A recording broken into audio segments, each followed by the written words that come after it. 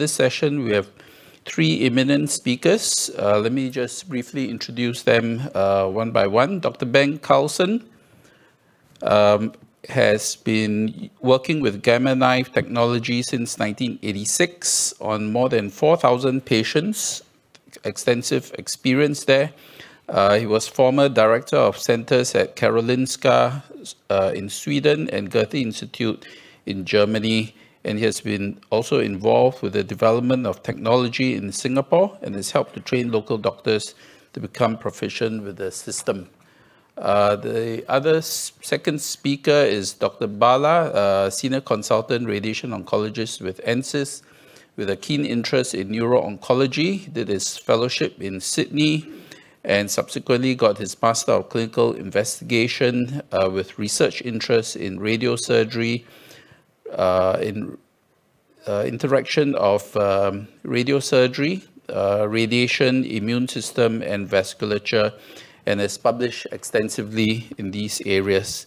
And the third speaker is Dr. Rachel Wong, Associate Consultant with NCIS, uh, with a keen interest also in uh, medical oncology, in um, neurological metastasis, and has published extensively also in these areas.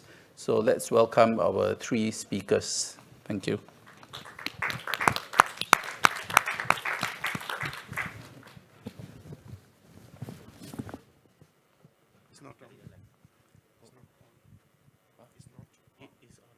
Well, oh, yes.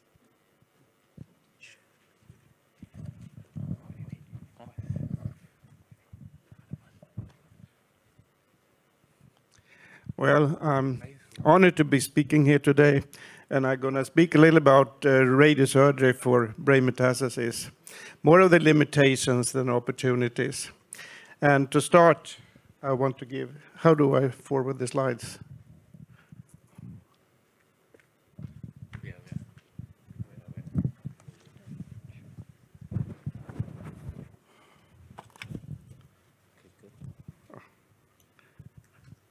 To start, I want to give you background of the number of lesions that uh, we start with. Why is that an issue? And I think one reason is historical, because radiosurgery was developed by neurosurgeons. And as a neurosurgeon in the 80s, you treat a patient with a single metastasis. Multiple lesions was not the patient for us. And another reason was, of course, that the assumption is that if you see 10 lesions, there are another 10 that you don't see and this patient does not benefit from local treatment. And then the third factor is the toxicity, because in those days we gave very high doses that limit the number of lesions that we could treat. And also practical reason, because there's a limited time available, and the more lesions you treat, the longer the treatment time. I started to use gamma knife in the mid-80s, and this was one of the patients that was treated before I started. A patient with a metastasis from malignant melanoma. Two years later, the lesion was still there, but the patient was in good condition. At that time, the dogma was that you cannot treat a malignant lesion with a single session radiation because you always have cells that are in a radio-resistant phase. But we thought that if you could cover the lesion or have the patient controlled for two years. That's more than enough for the majority of patients. But again, you have the problem with the high doses. You can see here this patient was treated 100 gray, which was a belief at that time. So when we started to decide to treat with brain mets, of course, the number became an issue. No longer an issue to have a uh, limitation of one. So what was the number we would choose? And this paper was published from a big group in US and they found that up to 90% of the patients have up to four brain metastases. So we said four is a good limit. And that limit persisted for many years in many countries for maybe this is one of the reasons. The first doctor that challenged this concept was Isaac Wolf in Florida. He treated patients with 10 plus metastases and he reported this in a uh, gamma knife meeting in the early 2000s we all thought it was crazy, to be honest. 10 plus lesions for radiosurgery, that's madness. But one of the slides he showed that still stuck in my mind it was a picture from the New York Marathon, and one of the patients had on this T-shirt asked me about my 10 brain metastases. So clearly this patient was doing well. But to say the least, this was controversial. Even so controversial, ended up in the Wall Street Journal, because at that time, Gamma knife was deemed to be a very exclusive treatment for a very limited number of patients. And of course, if you start to treat brain metastases, the number of suitable patients increased drastically. So as you can see, Dave Larson said that a patient with nine metastases is not a good case for radiosurgery. I say the first major publication that showed that it actually is feasible is the study we did from the Karolinska. As you can see on this slide, this is two to five year survival. Yellow line represents a single lesion and they live longer, but all others are multiple lesions, two to five, no, one to two to four, three to four, five to eight, and more than eight. And there's no difference in survival. So this study implied that multiple lesions, there's no relation with the number of lesions, and sorry, and the survival time.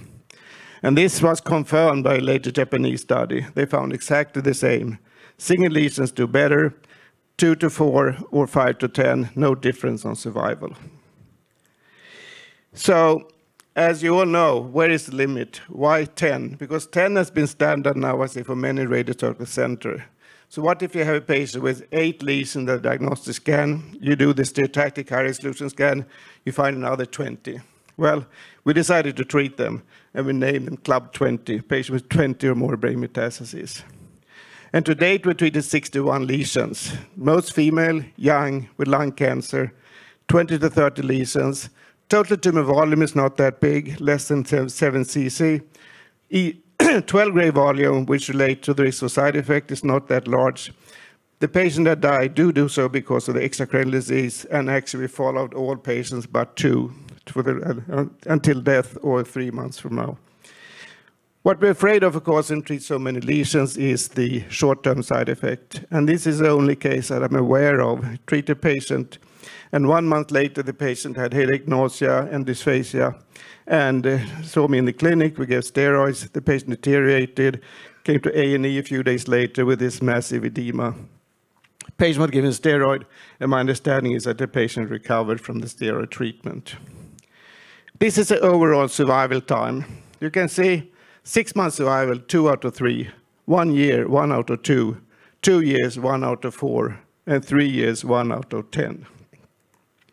How does that relate to the Japanese study? The Japanese study to the right here has extrapolated to our data, the red line here, and you can see the survival is virtually exactly the same.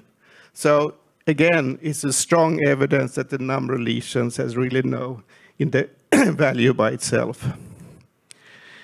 Most important factors is ECOG factor. If the patient doing well clinically, they have a better survival chance as compared to not doing so well. It's very basic and very obvious. Sex makes a difference. Female patients, as usual, do better than males. Tumor volume doesn't reach significance. You can see here, larger tumors have the trend to live a little bit shorter, but the number of lesions has no impact whatsoever. Actually, as of now, the patient with 30 plus metastases live in average longer than the one 20 to 30. No impact on outcome when it comes to survival is age, primary tumor, number of lesions, and again, extra versus intracranial death. That means it's not so that the patient that die quickly after the gamma knife do so because of the brain problem, but they do so because of the extracranial problem. Distant tumor control. Of course, we cannot accept to sterilize the brain with a single session of treatment. There may be invisible micrometastases, there may be new seeding, there may be other factors. So to the left here, you can see the likelihood for the patient to develop additional lesions in the brain. And as you can see here to the far left, half of the patient have developed a new lesion within uh, six months. But on the right, you can see the number of patients that deemed to be benefit from additional radiation treatment, being second gamma knife or whole brain. And that's half of the half. So a quarter of the patient was deemed to benefit from a second radiation treatment. If you split that up to the right here, whole brain versus gamma knife, you can see that the first six months, actually only 10% of the patient did receive whole brain. That implies that it's not so if a patient has 25 visible lesion, the patient has 250 invisible that will show up in a few months. That doesn't seem to be the case. Another thing is that the far majority of the patients the whole brain did so because of leptomeningeal disease, which is basically an extracerebral but intracranial disorder. So in conclusion, the number of brain metastases is irrelevant. The idea of brain metastases, uh, micrometastasis may be true, but it doesn't seem to be clinical relevance. And of course, the poorer the patient do at the treatment, the poorer the prognosis is. And the total volume shouldn't be too large. A quarter of the patients had intracranial tumor control since the first gamma knife. And of course, that is not because there was no micro uh, disease or no lesions, but because the systemic treatment is so efficient today. My second portion is about how large is too large. And clearly, you cannot treat too large patients, too large metastasis with single session radiation. I just showed this, the example to the left here, and to the right you see a patient with extensive edema. This is actually an epilepsy case, but this is the kind of radiation com complications you are scared of. So a Japanese group thought, why don't we split the treatment into two sessions with a month apart? And the preliminary experience was actually quite good. So Prof. Yo saw presentation and say, why don't we start here? And I said, nah. But he said, yes, let's do it. So we did it. And uh, what we managed to do was that we had Parkway to void the costs for the second treatment for subsidized patients. So the patient pay for one treatment and get two sessions. So far, only six patients. One of them did not do the second treatment, the other five did, and all of them are at present alive. I just show, shortly show these cases. This is one of the first case, a posterior fossa lesion. You see to the left is the first treatment, to the right is the second treatment, and you can see a significant decrease in volume. Then you see the follow-ups, the tumor virtually disappears. Then it resurfaces about a year, and it seems to be a radiation-induced complication because it's been stable the last six months. Second case, again, a posterior lesion, and this lesion disappeared totally.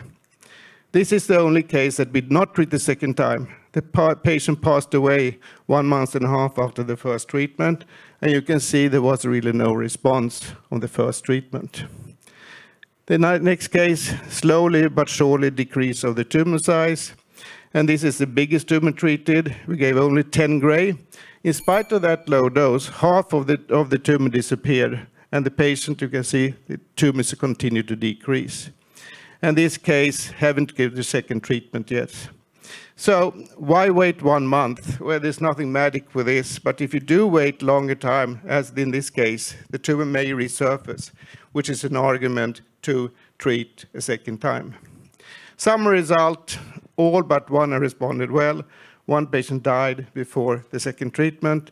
The volume decrease in one month is an average 50%, which is quite impressive. So it does seem that this is a feasible method for big metastases, but the number of cases are few, and uh, it seems, again, that you can avoid surgery for some of these patients. Thank you so much.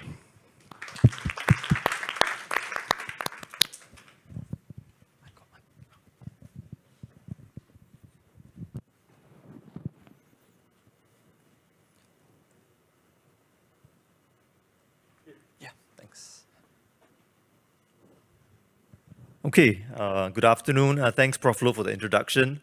Uh, thanks for the invitation, and I want to congratulate Prof. Jimmy and the ISOS team for organizing this symposium. Um, what I'll be covering today is radiotherapy for brain metastasis, and in particular, I'll be focusing on the toxicities associated with whole brain radiotherapy and the strategies that we have that we can widen the therapeutic window. So um, I know the audience here is very varied. We deal with different cancers. But this is a topic that we all need to know about because brain metastasis does affect one in 10 cancer, uh, one in 10 patients in their cancer journey, particularly so for patients with lung cancer, breast cancer, and malignant melanoma, but also patients with renal cell carcinoma and colorectal, um, colorectal cancers. And clearly the, the defining features of brain metastasis is that it is contrast enhancing, it is quite well defined, and it typically happens in the gray-white junction, and it does cause some perilesional edema. And as you can see from this photograph, typically most of them present with multiple metastatic deposits. Um, as with all other conditions, we adopt a multimodal approach to the management of brain metastasis, uh, be it surgical, radiotherapy, or systemic therapy. But particularly in brain metastasis, surgery and radiotherapy plays a much bigger role. Uh, this is so because there, there is something called a blood-brain barrier. So there are tight endothelial junctions formed by the endothelial cells and the pericytes, which restricts the movement of molecules more than 500 daltons into the brain parenchyma. One of the key concepts that we have in radiation oncology is that of dose-volume interplay. So if we are treating a larger volume, we need to reduce the radiation dose that we can give. Uh, if you're treating a small volume, we can escalate the dose as we see in radiosurgery. Uh, and to put things in context, uh, when we do radiosurgery for a small lesion, we can actually use quite high doses of up to 50 gray on a similar scale. Whereas if you're doing something um, like whole brain radiotherapy, we have to lower the dose to something like 24 gray and therefore the effectiveness of the treatments also vary. Another dictum that most radiation oncologists follow is that of a dose response, which is seen both in tumors as well as normal tissue. And often it's a balancing act that we have to undertake to balance tumor control and toxicity.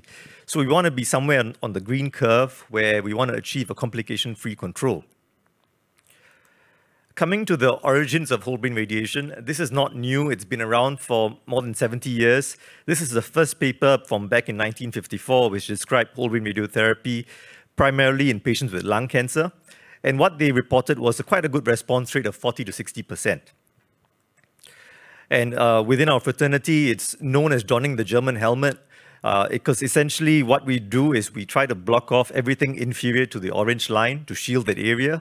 Everything superior to that is treated to a uniform dose with usually two lateral beams. And the typical schedule is something like 30 gray in 10 fractions over two weeks. Historically, uh, this is from oncology textbooks in the past, uh, we know that patients with brain metastasis who are just observed with no further treatment, they have a very dismal survival of usually less than two months. And often this prompted oncologists to adopt a very fatalistic approach to them. Um, adding steroids to the mix does improve uh, survival ever so slightly uh, and also improve symptoms, but long-term steroid uh, usage does come with its toxicities. If we added whole brain radiotherapy to this, uh, survival is improved slightly, but still not quite good enough we were able to wean off steroids and patients did have good symptom relief. How many radiation oncologists rationalize whole brain radiotherapy is that, as we saw in the previous talk as well, majority of the patients do have multiple metastatic deposits. Although we may just see one on the MRI scan, there are micromets that are seen throughout the rest of the brain in majority of the patients, which may only surface with time. And also because of the blood-brain barrier, this is a chemosanctuary site, and generally with conventional chemotherapy, the response rates are known to be less than 5%. Um, coming to how easy it is to give uh, whole brain radiotherapy is one of the easiest treatments to deliver. It's cheap, it's not res resource intense, and even in low, low income, low resource countries, this can be easily given to majority of the patients. Um, as radiation oncologists, many of us want to do it once and do it well. So we think that if we treat the patient once, that may reduce the need for multiple salvage treatments for patients who may surface up with more metastatic deposits down the road. And uh, there have been multiple studies, but essentially most of them suggest that if we add whole brain radiotherapy to radiosurgery, it does improve the local control, it does improve the distant brain control, and therefore the overall brain control and intracranial control is improved in patients when we add whole brain radiotherapy to radiosurgery. Um, to, to, just give you a figure, so the risk of distant metastasis uh, in the brain with radiosurgery alone is expected to be 70%. If radio, whole brain radiotherapy is added, that is usually about halved. But at the same time, we know that because we're using an overall low dose with whole brain radiation, patients with limited metastatic deposits, giving whole brain alone is usually not quite enough for them to get good local control. They usually recur after some time. And therefore, this phase three study actually showed that adding radiosurgery to whole brain improved the local control in patients with lim limited metastatic de deposits in the brain. But the key thing is about patient selection. How do we know which patient was going to live long enough to require prolonged local control? Uh, clearly, a patient with uh, expected survival of less than three months, you know, uh, uncontrolled extracranial disease, may not require very intense treatment for the brain. Uh, previously, we used uh, this RPA system, which was not very granular. It just looked at a few factors such as the age, the performance status, and the extracranial disease. But it did not quite go down into the specifics of the cancer itself. And based on this, there were three classes that we came up with. And clearly, patients in class one perhaps warranted a more aggressive approach for intracranial deposits.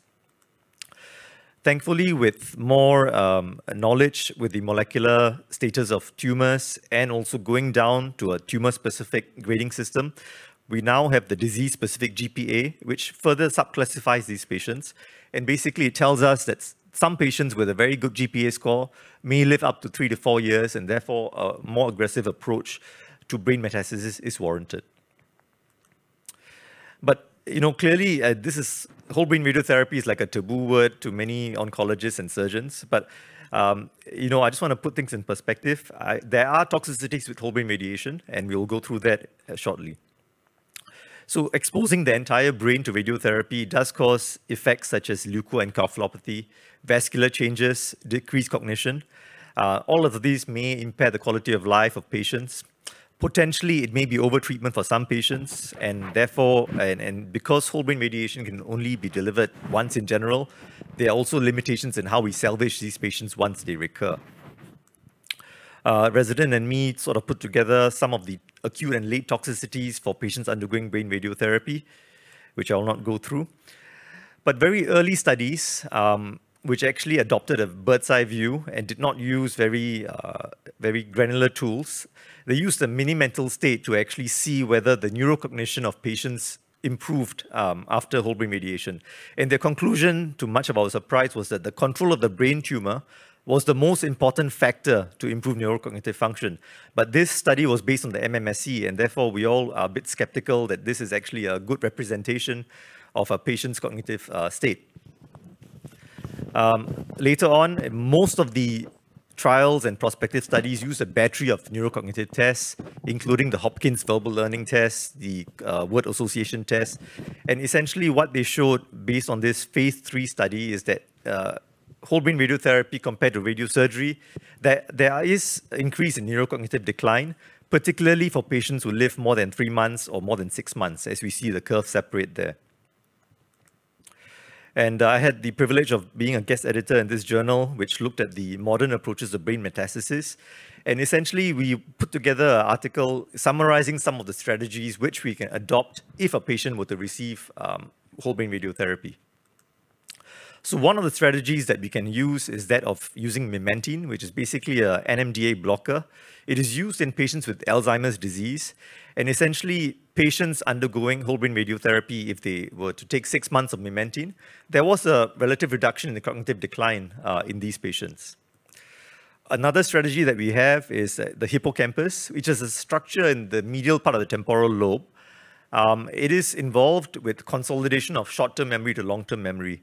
And with advanced radiotherapy techniques, uh, such as arc therapy, we can actually selectively reduce the dose to the, to the hippocampus.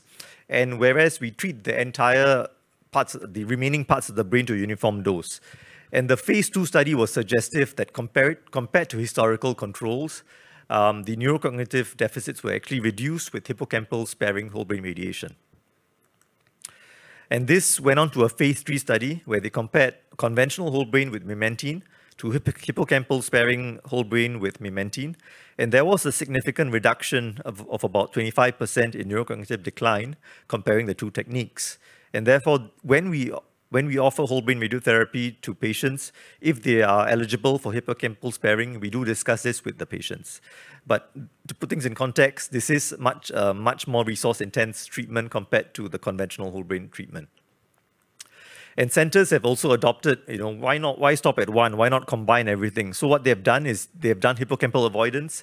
At the same time, they have boosted, uh, they have increased the dose of the gross tumors seen in the brain together with memantine as well. So this is a, sort of an all-in-one approach to reduce cognitive decline in patients undergoing brain radiation. Coming closer to home, um, we are actually undergo undertaking a prospective study where we use AI and digital medicine, uh, and patients I have are given a tablet post-radiation to play certain games to sort of uh, beef up their brain uh, function. And this is done usually about two months post-radiation, and basically we test the neurocognitive function using a battery of tests uh, along the way. Uh, so far, the trial, the trial has been promising, but it does require a very motivated patient to actually do this, do this test uh, at home on his tablet. So the old framework, it was quite a, it was a knee-jerk reflex. Once we saw brain mets, we said whole brain RT. But I think the contemporary framework is much more detailed and granular.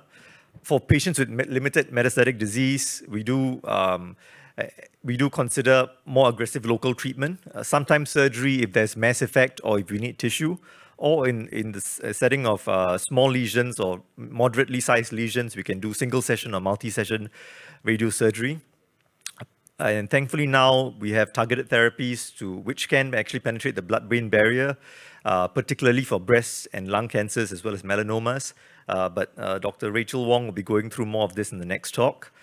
Um, patients with multiple brain mets who have a very poor prognosis, who are expected to pass away within a few months, perhaps best supportive care is a reasonable option. But patients who may live three to six months, whole brain radiotherapy with its modifications can be considered. So um, I think the paradigm of brain metastasis management has shifted from whole brain treatment to focal therapy, and it continues to evolve as more targeted drugs are being discovered. Um, however, even with the evolution of targeted drugs, I believe there's a role for local therapy, especially for patients with symptomatic brain metastasis. And there is a role for both focal treatments such as radiosurgery, as well as more comprehensive treatments such as whole brain radiotherapy. Um, but I think the key is really, as, as with all studies, about appropriate patient identification, therefore, and also instituting risk mitigation strategies upfront. All right, thank you.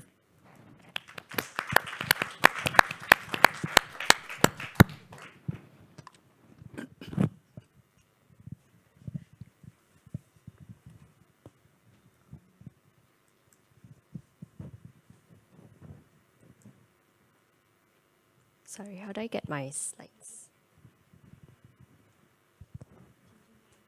Okay. Um, hi, I'm Rachel from uh, Medical Oncology, and thank you very much uh, for inviting me to share more about the new and evolving um, systemic strategies in brain metastasis. So this will be the content that I'll be covering. Um, so very quickly, we know that metastasis or secondary brain tumors are the most common um, intracranial tumors in adults, accounting for more than 50%. And 20 to 40 patient, uh, 20 to 40% of all of our patients actually uh, will encounter brain metastasis during their course of um, uh, their disease, of which the highest um, incidence actually involves uh, patients uh, with lung, breast, as well as melanoma, which um, Dr. Bala had also mentioned. Um, so some of the therapeutic challenges that we face, uh, we do know that patients with brain metastasis do have a very dismal five-year overall survival uh, of 2.4%. Um, and in patients who have um, brain metastasis, um, most uh, historically treatment has been uh, surgery as well as radiotherapy. Um, but there have been actually advancement in terms of systemic options, which I would like to focus my talk on.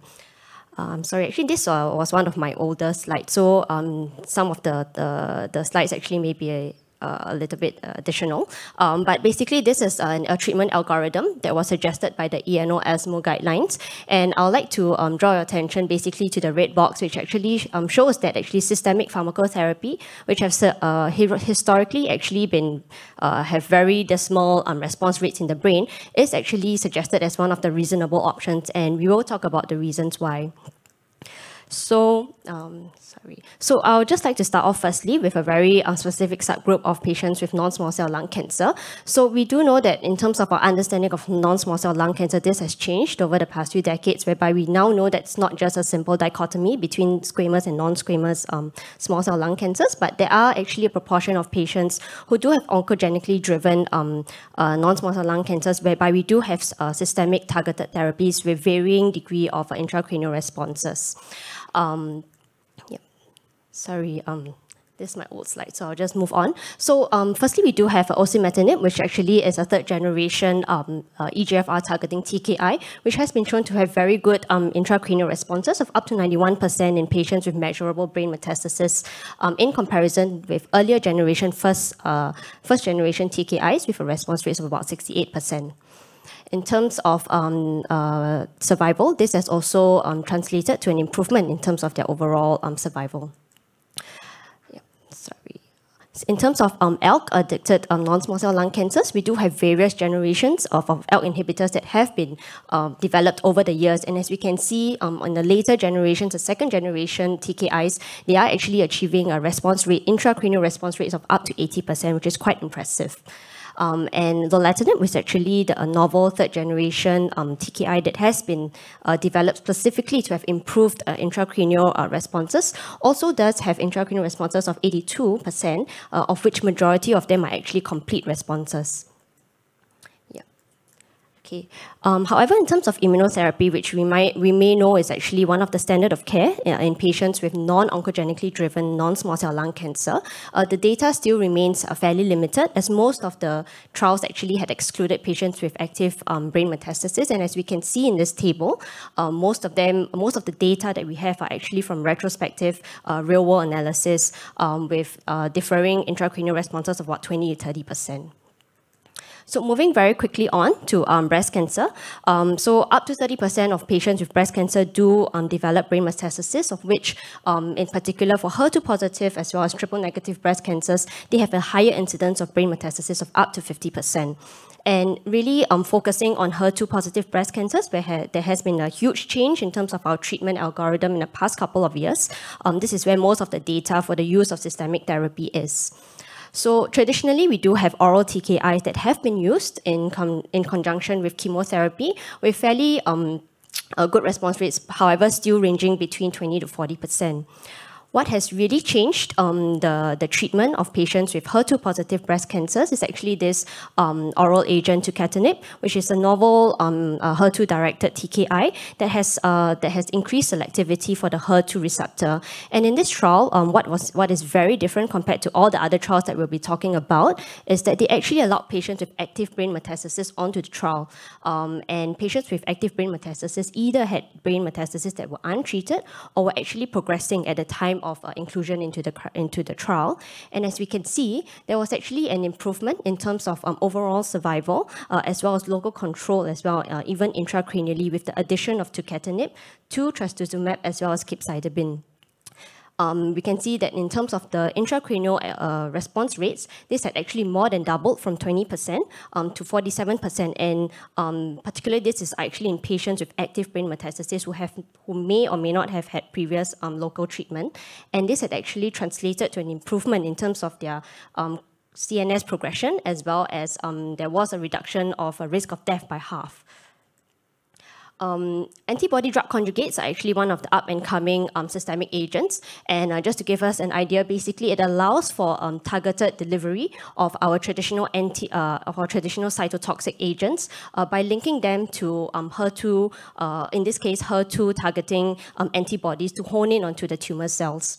And um, so this is one of the earlier um, uh, antibody drug conjugates, uh, TDM1, which also did have uh, uh, quite a good um, clinical benefit rate in terms of patients with a brain metastasis. But what is uh, really up and coming is this drug trastuzumab deruxtecan, which is a novel um, ADC that has actually changed um, our second line standard of care currently in the latest Destiny Breast 03 trial. Um, in this trial, there was a subgroup of patients with uh, brain metastasis, um, which actually uh, did show that in patients who were treated with trastuzumab deruxtecan, there was an improvement of uh, uh intracranial response rates of up to 60 odd percent. And currently, there are ongoing studies of both the DEBRA as well as the Tuxedo 1 trial, which is actually looking at the use of trastuzumab deruxtecan, similar to our previous um, HER2CLIMB study, where they are actually looking at patients with active brain metastasis. And uh, preliminary results actually do show fairly promising um, response rates as well, and we await further studies. Um, in Okay, in the interest of time, I'll just skip over um, triple negative breast uh, cancers because currently, in terms of the systemic agents, um, a lot of the data are still immature, and uh, we would still prefer um, using local treatment in the, in the in the management of these patients. Okay, lastly, in terms of melanoma, um, the treatment landscape also for melanoma has changed over the past decade, whereby now the uh, the standard of care actually involves immunotherapy as well as targeted therapy. And this has really changed the survival of our patients from a previously um, less than 5%, five-year overall survival, to patients living, um, most of our patients living more than five years And in terms of the data supporting um, immunotherapy in patients with brain metastasis, we do have two landmark studies. The CheckMate 204 study, which actually looked at patients with um, brain metastasis uh, treated with um, a combination of ipilimumab as well as nivolumab, which are two checkpoint inhibitors. And as we can see, especially in patients who are asymptomatic at baseline, they do have a fairly good intracranial response rates of more than 50%. However, in patients who do have a symptomatic brain mets and may be on um, um, steroids, for example, um, in cohort B, um, they do have uh, lower response rates of about 17%. And these um, results were actually mirrored and confirmed in the ABC trial, uh, which was actually a randomized phase two trial, which uh, randomized patients to receiving either single agent nivolumab um, in cohort B or a combination of ipilimumab and nivolumab as per uh, cohort A. And they also did have similar response rates as we see in the CheckMate 204 study. And just to draw your attention specifically um, arm C, which was patients who had symptomatic uh, brain metastasis who were either on steroids or leptomeningeal disease um, or had prior um, local treatment, they actually had fairly dismal um, response rates of only 6%. So perhaps these patients may not be suitable um, for systemic uh, treatment alone. Uh, moving on to a group of patients, um, uh, patients who have a BRAF uh, targeting um, mutation, uh, which accounts for about 50% of melanoma patients. We do have uh, data as well for the use of targeted therapy in the treatment of patients with brain metastasis. And this comes from um, the COMBI-BM trial, which actually looked at patients um, with brain metastasis. They had four different cohorts. Um, and basically, the idea is that in this uh, group of patients, um, the treatment with the dabrafenib as well as trametinib, which are oral targeted um, tyrosine kinase inhibitors, they actually did achieve a response rate of 44 to 59%. And these patients actually, uh, they actually included patients who had active brain metastasis or patients who were um, on steroids and perhaps in comparison with the use of immunotherapy, um, these targeted agents could be considered in patients with a BRAF mutation. And um, similarly, in terms of um, some of the um, systemic uh, review as well as meta-analysis, which may suggest that um, in patients with uh, brain metastasis, a combination together with local um, with local uh, uh, radiotherapy can improve um, local control as well as overall survival. Although we need to take note uh, and keep in mind that there may be higher rates of intracranial hemorrhage as well. So basically, I think in terms of the management of these patients, this definitely has to be a multidisciplinary approach whereby we discuss uh, accordingly with our radiotherapists um, whether this may be a, a, a, treatment option for our patients. So I think um, just to wrap up in conclusions, we know that uh, patients with brain metastasis, there are many different options in terms of treatment, and um, this is definitely uh, better managed in a multidisciplinary setting. Uh, while there is uh, many factors that we do take into account, and with particular in terms of systemic treatment that may be helpful in a very um, special subgroup of patients, um, we do need more research uh, to determine the optimal sequencing approach. Thank you very much. Okay, thank you very much, uh, Dr. Bengt Karlsson, uh, Dr. Bala, and Dr. Rachel for your most um, truly excellent lectures. I think in the interest of uh, time, um, and the lunch uh, lecture coming up, uh, we will not have uh, the Q&A, but I'm sure the three speakers uh, will still be around um, if you want to ask them uh, directly your questions. But once again, let us give them a round of applause for their great presentations. Thank you very much.